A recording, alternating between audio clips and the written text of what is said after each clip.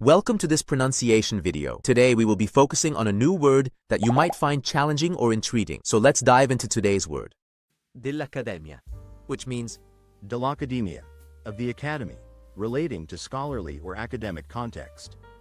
let's say it all together. dell'Accademia, dell'Accademia, dell'Accademia, One more time. dell'Accademia, dell'Accademia, dell'Accademia. Thank you for joining us on this adventure in pronunciation. Remember, language is a journey, not a destination. Keep exploring, experimenting, and expanding your linguistic horizons. We'll see you next time.